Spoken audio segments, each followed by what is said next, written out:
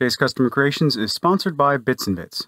Use the code JBates to save 10% off your next router bit or CNC bit purchase at bitsbits.com. This is a kind of a feeds and speeds bookmark for anybody wanting to cut paperstone in the future. I recently picked up some paperstone and couldn't find much information about it, so that's the whole point of this video. Paperstone is a solid surface sheet good material and my spindle is about 6.5 horsepower, but I don't think that type of power is necessary I think a 2 horsepower spindle or router could easily handle this material.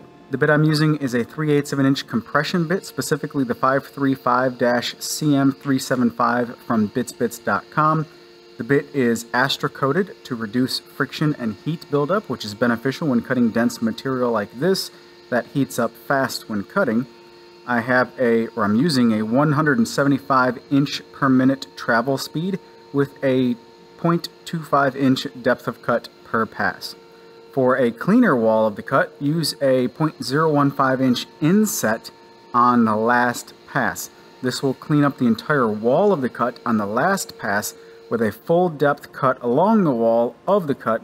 And in VCarve Pro, this is accomplished by checking the Do Separate Last Pass box in the 2D Profile Toolpath settings. I also used a 1 8 of an inch roundover bit for the edge profile and even with a small bit like this, burning can still happen. So slow down the router RPM as much as you can.